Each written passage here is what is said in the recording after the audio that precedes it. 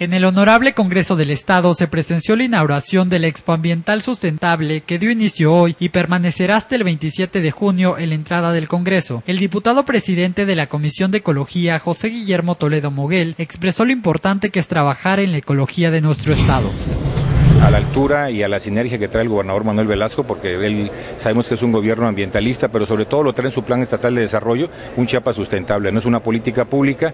Nosotros ya hemos hecho algunos, eh, abrogado algunas leyes ya con relación al cambio climático, hay una nueva ley, vamos a reglamentarla en las próximas semanas y ahora viene la situación de participar con los ayuntamientos en el problema de residuos sólidos, en el problema que hay con las aguas eh, residuales y también los temas que hayan recursos para la reforestación etiquetados. Entonces creo que es un tema que por eso hacemos esta expo y haremos un reconocimiento a dos chiapanecos distinguidos también universitarios de la UNICACH y de la UNACH, que son galardonados a nivel nacional e internacional y en Chiapas poco se les reconoce y estarán hoy precisamente, es el doctor Mundo Molina de la UNACH con el, el asunto de la vivienda saludable.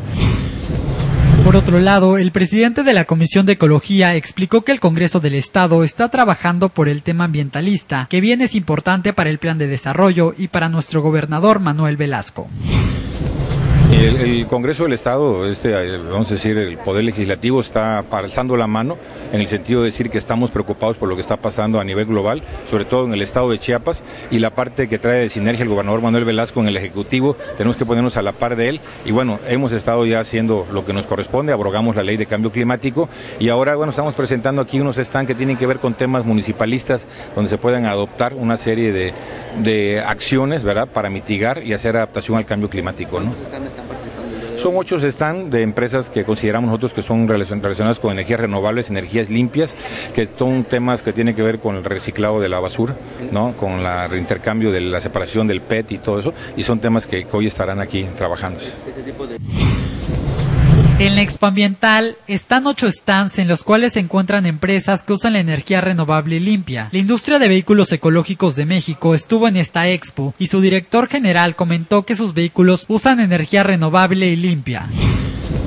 Eh, de energía limpia, se manejan con energía limpia, sustentables y tenemos la exhibición de los vehículos, los prototipos nuevos. ¿sí?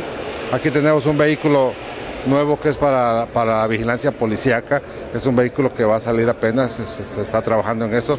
Tenemos otro que es para, para la limpieza, sí, que también va a circular aquí en nuestro Tuxtla Gutiérrez. Sí.